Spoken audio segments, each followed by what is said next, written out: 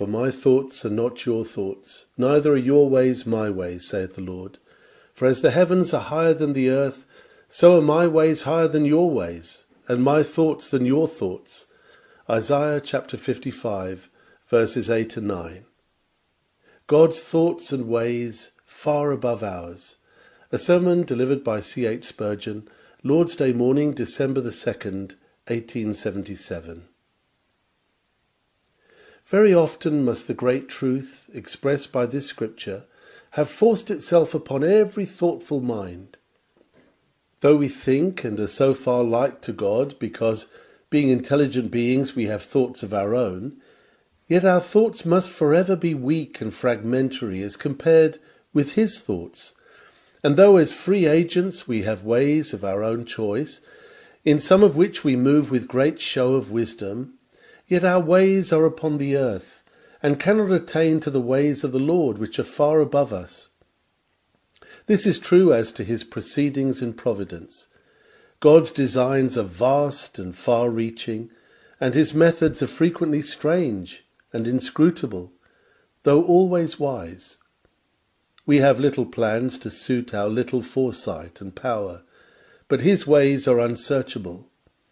Oftentimes he brings light of excessive brightness out of darkness, more dense than usual, and produces superior joys out of extraordinary sorrows. In infinite wisdom he causes the most furious storms to cast up upon the shore the pearl of peace.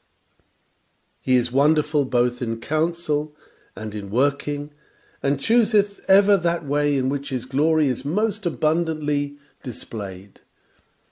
Our way, which for a time we think to be the best, when it is scanned by the enlightened eye, soon turns out to be as much beneath God's way of accomplishing the desired purpose as the earth is beneath the heavens. Compared with Him, our wisdom is folly, and our prudence madness. Indeed, we may not compare ourselves with the Lord, for there is no comparison.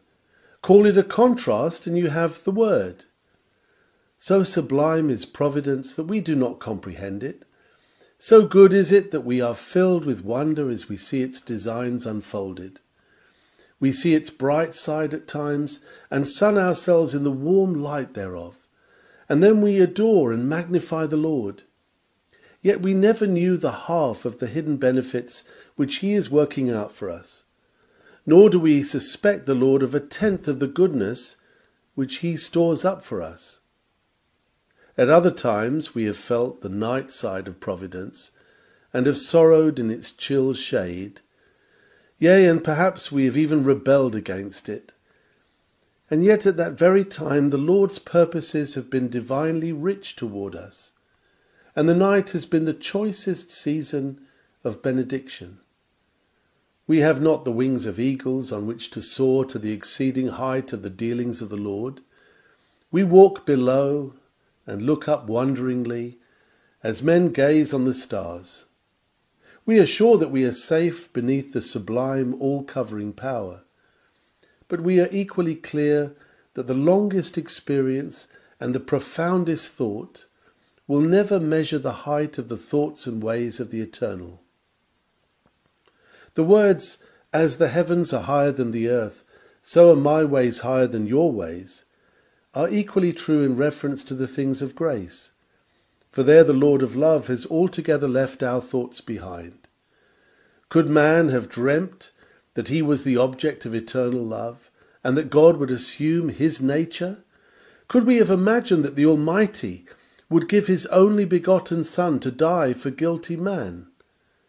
The atonement was a thought which never would have crossed man's mind if it had not first of all been revealed to him by the Great Father. The divine way of lifting up the poor from the dust and the needy from the dunghill by his rich, free, omnipotent grace is not of man nor by man. The Lord's thought of choosing the base things of this world and things that are not to bring to naught the things that are, his thoughts of sovereignty and thoughts of grace, all consistent with his thoughts of justice, are far above human invention and out of man's range of thought. Even when the Lord explains his thoughts and ways to us and brings them down to our comprehension as far as they can be, yet we cannot fail to wonder at their elevation and grandeur. Great God of wonders, all thy ways are matchless, godlike, and divine. Have you not often stood in mute astonishment as you have discovered some fresh blessing of the covenant before unknown to you? Like a miner who turns over another nugget in the mine and stands in amazed delight, so have you mingled faith with astonishment. Have you not known what it is to do as David did when Nathan brought him tidings of the Lord's covenant with him? Then went King David in and sat before the Lord, and he said, Who am I, O Lord God, and what is my house that thou hast brought me hitherto? And is this the manner of man, O Lord God? Have not such fits of astonishment been upon you also?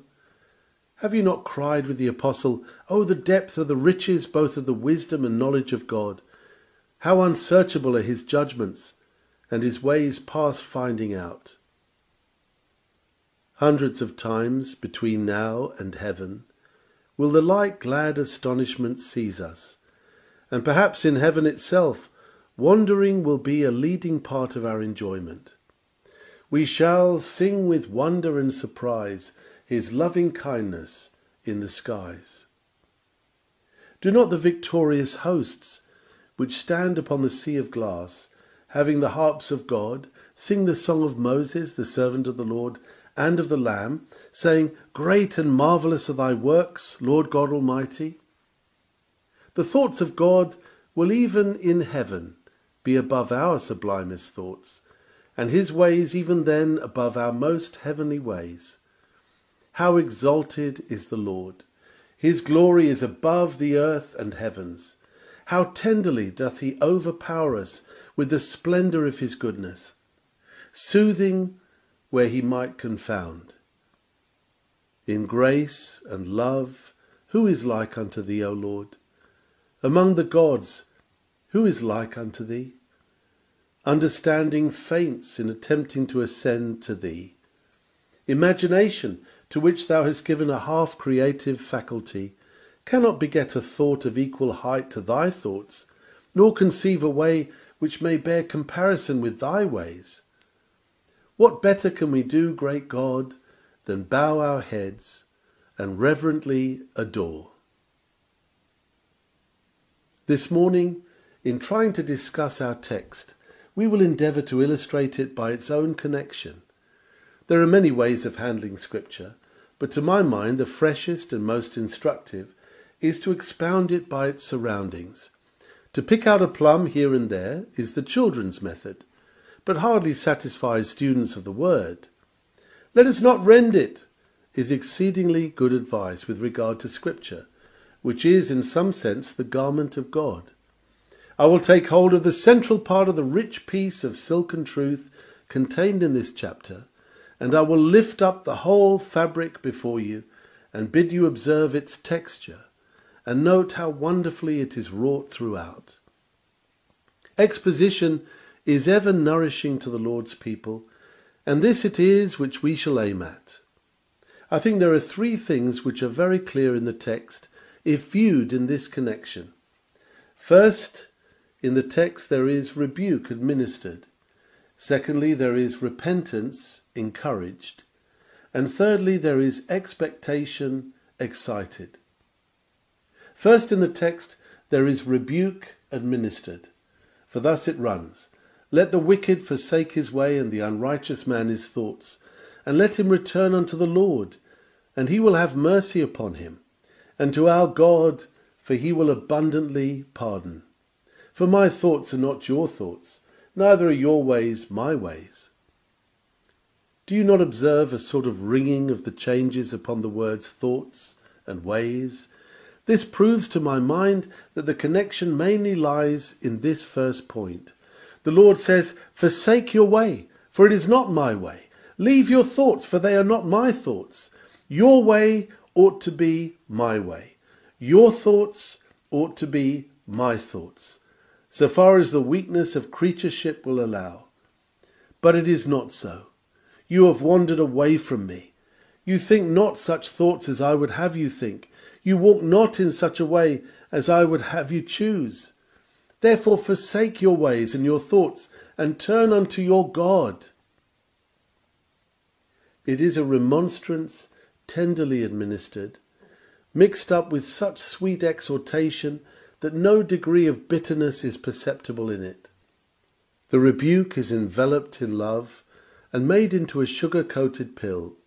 The sweet promise of abundant pardon conceals the reproof. Now let us take the rebuke and notice first the fault of man's thoughts. My thoughts are not your thoughts. As between each other, God's thoughts are not man's, though they ought to be. God's thoughts are love, pity, tenderness. Ours are forgetfulness, ingratitude, and hard heartedness. He thinks of us as lost sheep are thought of by the shepherd, as a prodigal child is thought of by his father.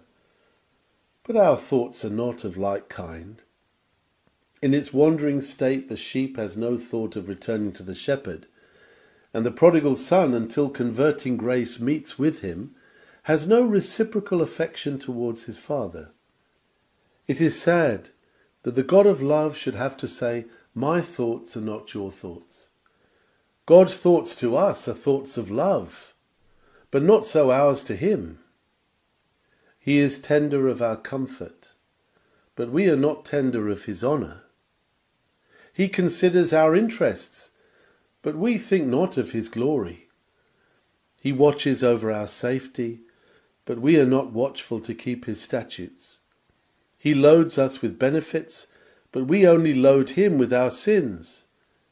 He has given us all that we have, but we bring him cold thanks in return. You love, O ungodly men, to live without remembering God. He is not in all your thoughts. You have no consideration of your Maker, no deference for your preserver, no care for your best friend. He feels your ungenerous conduct, for he says, If then I be a father, where is mine honour? And if I be a master, where is my fear?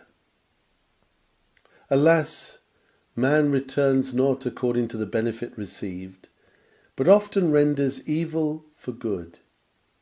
When the Lord deigned to visit earth as the incarnate God, the acts of man prove that his thoughts are not God's thoughts. God's thoughts were all goodness to men, but men found him here in human form, and their thoughts and ways were full of enmity and murder towards him. Therefore they cried, Crucify him! Crucify him! How terribly has man departed from his God. Your thoughts as to your conduct are not God's thoughts. He considers that the creatures he has made should obey him, but you judge that it matters not what a man does towards his Maker, so long as he is just towards his fellow men. God declares that no conduct can justify a man unless it be absolutely perfect and wholly conform to his law. But man imagines that if he does his best, it will suffice, and that, even if he does not do his best, a little profession of repentance will wipe off old scores, and he may stand self justified before God. Man thinks that he has done wondrously if he gives now and then a little attention to outward religion, even though his heart may be far from God. But the Lord looks at the heart and searches the secret places of the mind, and he values nothing but what is done out of love to him. Man slights the inward and only regards the outward, for God's thoughts are not his thoughts. O you that are satisfied with your own conduct, and perfectly content that things are well enough with you, I beseech you to recollect that your self congratulatory thoughts are not the thoughts of God. He looketh into the soul's secrets, and he is not deceived by the words and professions of those who draw near to him with their lips, but in secret continue in their iniquity. God's thoughts again, as to the life which a man needs in order to salvation, are very different from man's thoughts. Did you notice how in this chapter he says, Hear, and your soul shall live? He reckons then that man is dead till he has heard the word of God in his soul. Man reckons that he is alive enough. He is perfectly satisfied with the mental life which he possesses, and does not desire spiritual life, for as yet he cannot apprehend it. Here is a wide difference. God thinketh of thee, O sinner, as dead and beginning to corrupt. He thinketh of thee as we think of a corpse when we cry, Bury my dead out of my sight. But thou thinkest of thyself as of a creature fair to look upon, filled with beauty, abounding with ability, and able to perform all spiritual acts at pleasure. Thy boast is that thou hast freedom of will and force of heart to set all things right whenever it pleases thee, and courage and resolution to right every wrong which may assail thee. Thou art as strong as Goliath, and as brave as David in thine own esteem. But God thinks not so. His eternal Spirit knows that thou art dead, and he is come to bring thee life. Take heed that thou do not reject it. Do not say in thy heart, I have enough, and want nothing from the Most High, for this would be thy sure destruction. God's thoughts are not our thoughts again in reference to the truth. God's thoughts of truth are evidently not man's, for nothing but divine grace can bring a man to believe the doctrines of the gospel or keep him faithful to them. Each generation seems to bring forth its own set of men who set themselves to oppose God's truth from some fresh point. These scribes and counters of the towers are wonderfully busy just now. We have among us a great company of men who have attained repute through daring to assail established truth. Wise men, if we take their own judgment of themselves, for they are never more at home than when sounding the praises of their own culture and breadth of mind. These Philistines have intruded into the temple under the pretence of trimming our lamps, but their aim is to put them out. Evangelistic light is too clear for them, and they seek to obscure it. Hence they give new readings to texts which are translated by better scholars than they will ever be, and put new interpretations upon the doctrines which their fathers held, interpretations which their sires would indignantly repudiate. Roughly speaking, these men deny everything which faith holds dear, and yet expect to be considered to be Christians. They tear the vitals from every truth, and yet pretend to believe it.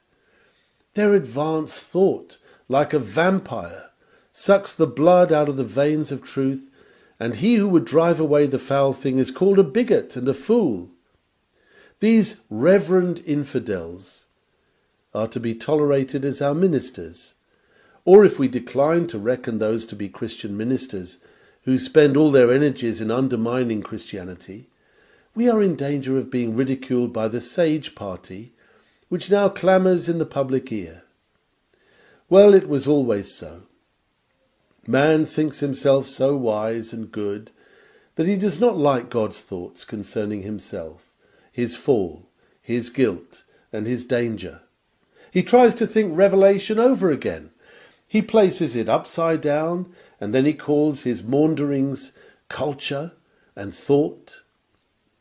To get away from the plain teaching of Scripture, he babbles about advancement, an advancement which consists in going away from the light, an advancement which will bring us back to stark naked infidelity unless God in infinite mercy shall arrest it. Man likes not the thoughts of God. If God thinks of man as depraved, he will not have it. He feels that it is a shameful thing to speak thus of such a noble being as himself. If God declares that man is so fallen that he must be born again, he will not have it. He will sprinkle a few drops of water on a babe's face. Hey presto, the thing is done. If God thinketh that the sinner shall be cast into hell, where their worm dieth not, men's fears are quieted by being assured by some great divine that there is no hell, that he cannot find mention of it in the Bible, and that, at the worst, he will only cease to be. Thus do they think in opposition to the divine thinking. For evermore it is true, my thoughts are not your thoughts, neither are your ways my ways, saith the Lord. In the matter of salvation, God's thoughts are not man's thoughts. For God thinketh that man has so sinned that he must be condemned, except a substitute be found. Man thinks not so. God sets before him pardon freely presented through the precious blood. Man thinks to buy it by his devotions, or win it by his merits. Hence the language preceding our text. Wherefore do ye spend money for that which is not bread, and your labour for that which satisfieth not? Hearken diligently unto me, and eat ye that which is good, and let your soul delight itself in fatness. Incline your ear and come unto me. Hear, and your soul shall live. And so on. Those verses hold in solution the thought of our text My thoughts are not your thoughts, neither are your ways my ways, saith the Lord. See then, dear friends, that this is a call to repentance. Man, if you think rightly, you will submit to think as God thinks. If your thoughts are what they should be, they will not contradict God's thoughts, for He knows more than you and knows better than you. The infinite, the eternal, is He to be judged of man's judgment? Is He to be analyzed in the chemist's laboratory? Are his thoughts to be ridiculed because they are contrary to the reigning philosophy, which is probably no more true than the many other forms of human ignorance which have aforetime come and gone in the centuries of the past? Will not the present dream of mortal wisdom melt like a mist before the sun of gospel truth? Is God's great system of salvation and providence to be called to the bar of the scientists who can do no more than dote after the manner of their predecessors? Shall divine revelation be judged and condemned as men try a thief? Nay, worse than this, these sages so despise the teaching of the Lord that one would think they were a committee of doctors examining a maniac. Let us abhor the presumption of skepticism, and let us be wise enough to know our folly rational enough to feel that God is to be obeyed and not questioned, and that his revelation is to be believed and not criticized. Though we think crookedly, God's thoughts are upright. Though we think grovellingly, God thinks sublimely. Though we think upon a finite and erroneous scale, God thinks infinitely and infallibly and it is ours continually to correct our thoughts by the infallible word, so that our minds are kept in harmony with the sure utterances of the Holy Ghost. Now, the text advances to say that man's ways are not like God's. My ways are not your ways. Our ways are the outward actions which spring out of our thoughts. God's ways are ways of holiness and purity. God hath never done anything unjust to his creature or unrighteous to himself. But our ways are not so. They are full of error, marred with evil, polluted with impurity. By nature we love that which we ought to hate. We often put bitter for sweet and sweet for bitter. O oh, brethren, when you think of the character of God, and then think of the best man that ever lived, truly as high as the heavens are above the earth, are his ways above our ways. God's ways are ways of love and tenderness. He is very pitiful and full of compassion. But our ways are not so. We are often very harsh to one another, and we do not return a filial love to God. I mean, not unless His grace meets with us, and even then we fall far short of walking in the love of God as He walks in love toward us. God's ways are ways of truth. He never lies. He has never been unfaithful to us or untrue to his promise. But we, on the other hand, have proved false to him many a time. Thou hast dealt very treacherously, said the prophet of old, and the charge lies against us to this day. We have been traitors to God, but he has been fidelity itself to us. Our good resolves have dissolved in air. Our promises have been broken. Our vows have all been forgotten. God is all truth and faithfulness to us, and we are all mistrust and doubt and treachery towards him. And were it not for his divine grace, we should have even fallen into apostasy and been like the son of perdition who betrayed his Lord. God's ways are ways of forgiveness and peace. He does not desire the death of the sinner. He is very patient. He suffers long. He bears continually with our provocations. He is desirous that men should acquaint themselves with him and be at peace. His ways are ways of reconciliation, ways of forgiveness, ways of love and kindness. But see ye not that the ways of the natural man are perverse? By nature we do not desire to be at amity with God. On the contrary, we seize upon anything that can aggravate our transgression and widen the breach between ourselves and our offended Lord. We have no patience. We cannot even bear with a little suffering or trial from him without complaint and murmur. There are men around us who will turn round and curse him to his face when his hand is smiting and correcting them for their good. Ay, and they will do it wantonly without the shadow of reason. Our ways are not God's ways. This is true of every sinner under heaven, and in some measure true of the best of men. My ways are not your ways, saith the Lord.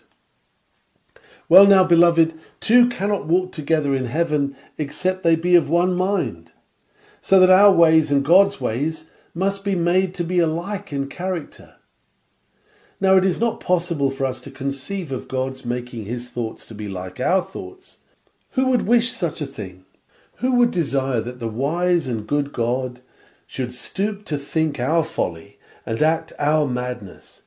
Who could wish that the glorious and the perfect one should come down to think and act after the manner of unjust, unrighteous man? His thoughts cannot be reduced to ours. What then? Why, we must rise to him.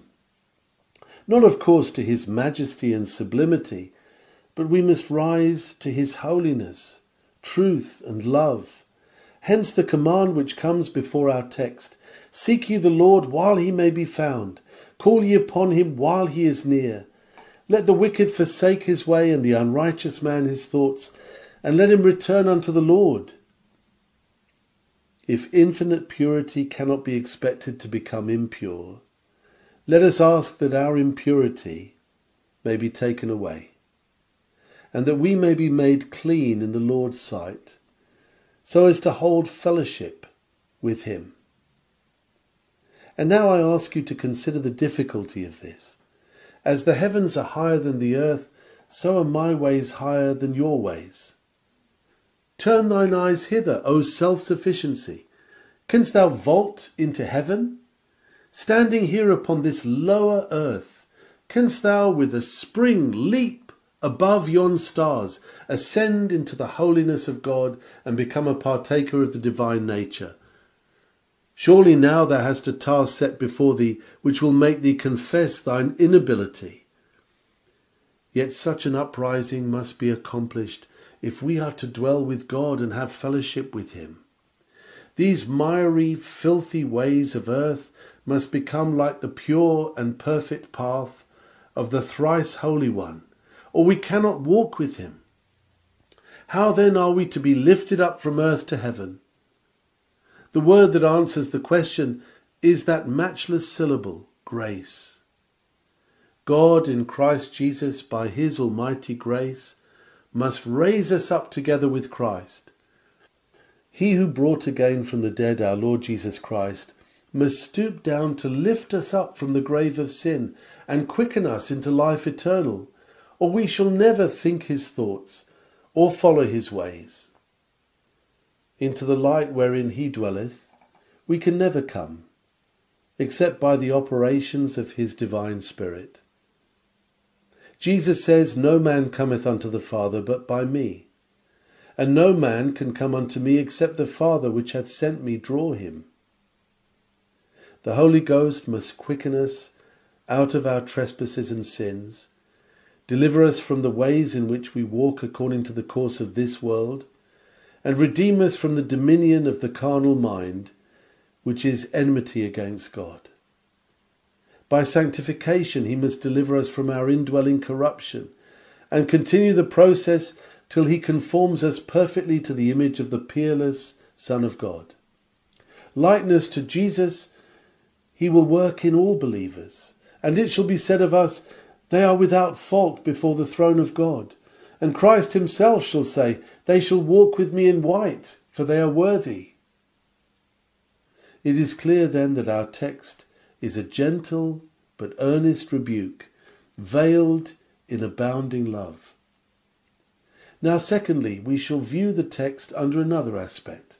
Here we have repentance encouraged. Kindly look at the seventh verse. Let him return unto the Lord, and he will have mercy upon him, and to our God, for he will abundantly pardon. For my thoughts are not your thoughts, it is clear that there is a connecting link between the abundance of pardon and the lofty character of God, and that men are encouraged to forsake their ways and thoughts by the hope of pardon derived from the greatness of the divine thoughts and ways. First, O sinner, turn from your way at once and seek the Lord, and do not stand back because you cannot understand God. It is not needful that you should comprehend his ways and thoughts. You are not asked to do so. In fact, you are told in the text that you cannot do anything of the kind. You are bidden to forsake your way and receive mercy by hearing his word and believing it. For as the heavens are high above the earth, so high are his ways above your ways. You cannot understand it. You waste time while raising this question and that prying into God's eternal purposes, gazing into the dazzling light of sovereignty, questioning electing love, diving into the mysteries of the Trinity and the like. You are to hear, and your soul shall live. Return you unto our God, and he will abundantly pardon you. Though you cannot grapple with his sublimity, submit to his mercy. You may conclude that it is not intended that you should understand the infinite, for you are told that his thoughts and ways are far above you. But you are required to seek him while he may be found, and call upon him while he is near.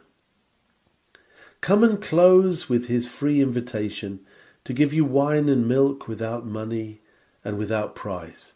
Forsaking your sin, come and be at peace with him at once. Neither start back because you cannot find a parallel to the grace which God declares that He will display towards you.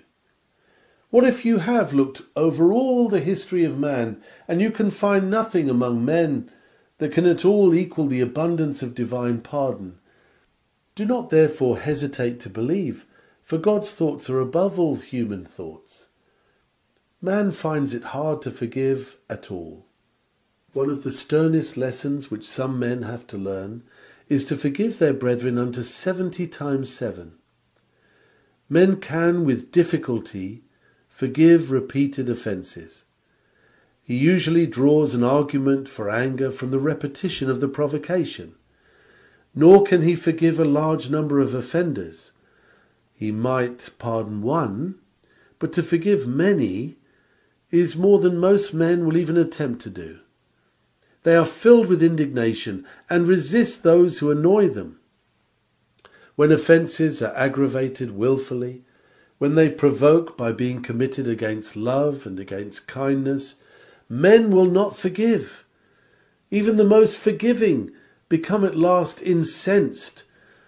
But God passes by myriads of transgressions. Do not wait until you find a man who could forgive you. God can do what man never dreams of doing. His thoughts are above your thoughts, and his ways above your ways. Peradventure, conscience has been busy as to your own shortcomings, and you feel yourself to be self condemned. In the honesty of your judgment, you have felt compelled to cry, I could not do otherwise than pass sentence of condemnation upon myself, if I were made my own judge. 'Tis a right verdict. But do not forget that Jesus died. And now, far above all thoughts of ours, mercy's wing can mount. Yea, the everlasting mountains of Jehovah's forgiving love are above the heavens. Grace overtops all things. Think of this, O repenting sinner, and be encouraged. Man's forgiveness is seldom free like that of God, who delights to pardon sin. No sooner do we transgress than God is ready to forgive.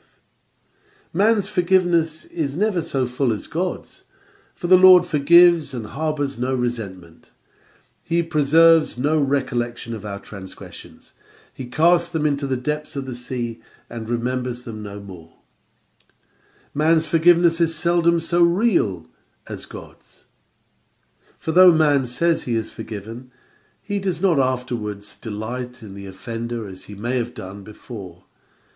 There is a chill in his heart towards the person who injured him, and by his cautious dealing he shows that he remembers the wrong. But the Lord God so effectually and wholly forgets transgression that he presses the offender to his heart adopts him into his family, and lifts him up to dwell forever with him above.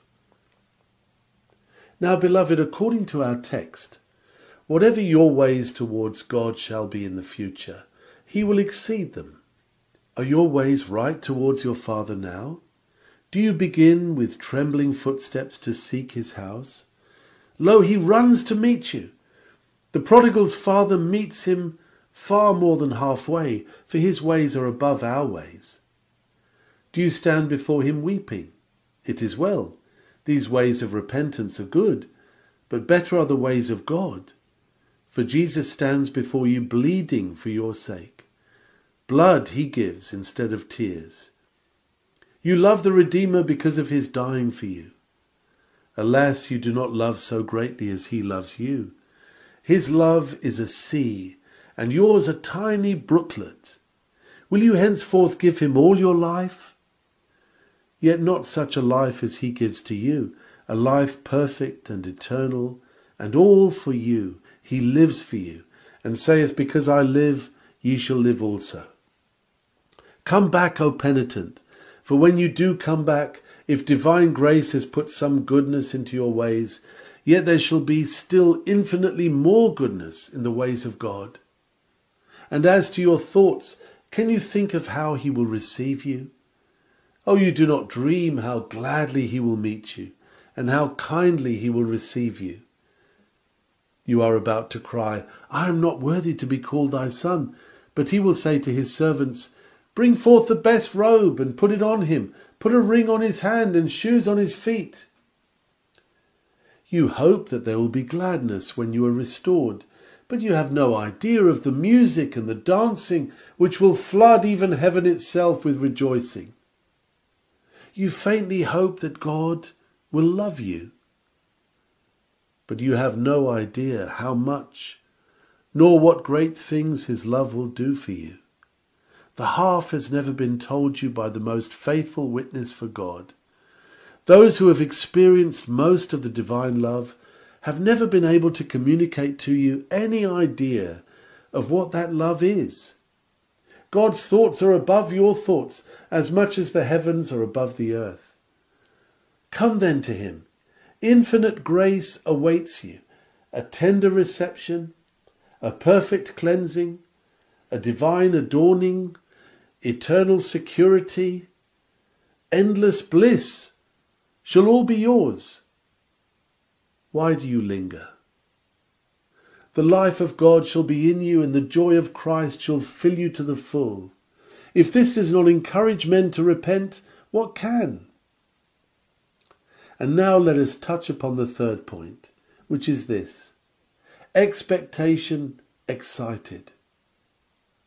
I said I was going to keep to the connection of the text, and so I will, but this time the link is forward instead of backward. As the heavens are higher than the earth, so are my ways higher than your ways, and my thoughts than your thoughts. For, you see, there is the link word for, to join our text to that which follows. For as the rain cometh down and the snow from heaven, and returneth not thither, but watereth the earth, and maketh it bring forth and bud, that it may give seed to the sower and bread to the eater, so shall my word be. Now if you hearken to the Lord, and take his thoughts to be your thoughts, and earnestly pray him to make his ways to be your ways, from this time forth and forever, you may justly indulge the highest expectations, and they shall be exceeded. This chapter tells you what to expect. First, you are to expect that the Lord's word will be unfailing to you. What is this word? You see, we have had thought and way, and now we come to word. God's word is his thought spoken, and God's word is also his ways. For he speaks and it is done, he commands and it stands fast. His word is thought and way put together. Now that word of his shall never be broken to you. Poor sinner, forsake your ways, forsake your thoughts, and come and trust in God, and his word shall be like himself, immutable, eternal, infallible, and full of boundless blessing to you. It shall be powerful to bless you, mighty to fertilize you. It shall be like rain and snow, which go not back to heaven, but sink into the earth to make it bring forth and bud. From that day forward, when you are reconciled to God, you may take any promise you find in the word and say, Lord, fulfill this word unto thy servant, whereon thou hast caused me to hope. And it shall be so. Come and trust him. And promises which now appear above you, and far too rich for such a poor worm as you are, shall all be fulfilled to you. They shall come down upon your soul like gentle showers and make you full of gladness. Such is the fullness of its power that you shall be able to respond to God's word by a holy and gracious life, and your soul, barren as it now is, shall be made to bring forth and bud. This is one blessed thing which you may confidently expect, for you are coming to a God of great ways and thoughts. The next is that you are returning to a God whose ways are so much above your ways, and his thoughts so much above your thoughts, that your heart shall be filled with joy. Ye shall go out with joy, and be led forth with peace. God will not merely break off your chains and say in cold accents, You are free, but he will release you amid the music of the spheres. And angels shall lead you forth in peace, and your tongue shall sing, I am forgiven, I am forgiven, I'm accepted, I'm redeemed. Behold, now I go forth out of my captivity with joy, and God's angels lead me forth with peace.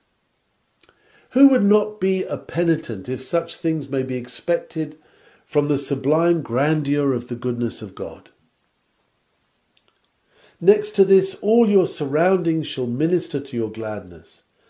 The mountains and the hills shall break forth before you into singing and all the trees of the field shall clap their hands. In your journey through life, mountains have hitherto been hard to climb, and forests tangled and dark have been your dread. But now so greatly good is God to those whose ways become his ways, that the mountain which you feared shall break forth into song and the forest at which you trembled shall become an orchestra in which every tree shall clap its hands for joy. You do not know what awaits coming sinners. You that are willing to hear that your soul may live, you that are willing to accept the covenant which God made with great David's greater son, you shall see the whole world robed in the garments of praise, and your heart shall be so filled with gladness that it shall overflow and flood all nature with joy.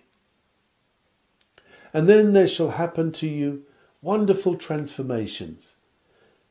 Because God's ways are above your ways, he will do what you never thought could be done. The thorns shall be transmuted into fir trees, and the briars into myrtles. There shall be a change in you, such a wonderful change, that all things shall become new. There shall be a change in all that concerns you.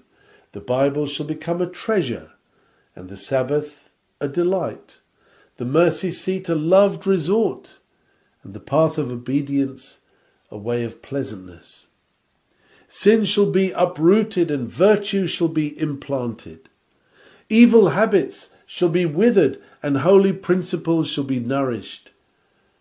You do not know and you cannot guess what honour, pleasure, dignity, and glory it is to be in Christ. You who have never come to God cannot conceive the bliss of life with God by Jesus Christ.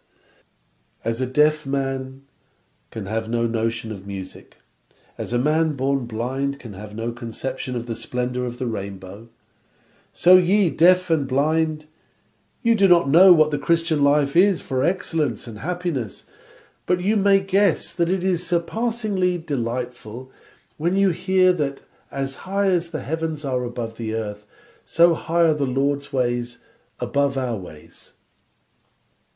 Last of all, this mercy is to endure forever. Man's thoughts are for a time, and his ways but for a season. God is eternal. When he thinks, his thoughts abide forever, and when he acts, his ways are everlasting. The gifts and calling of God are without repentance. He never changes his mind.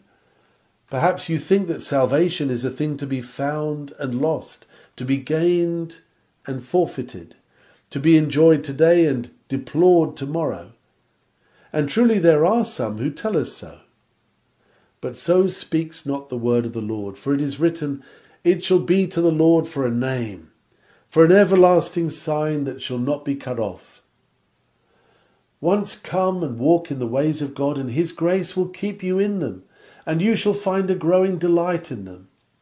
Once come and learn the thoughts of God, and surrender intellect and heart entirely to his supremacy, and if it be a sincere surrender, his Holy Spirit will henceforth guide your thinkings and direct your believings, so that you shall continue steadfast in his fear, and your path shall be that of the just, which shineth more and more unto the perfect day. Oh, who would not yield to such a God as our God, whose goodness excels our largest desires? If I were engaged upon the wretched errand of charging you to submit to a remorseless tyrant who would never forgive, my message would be hard to deliver.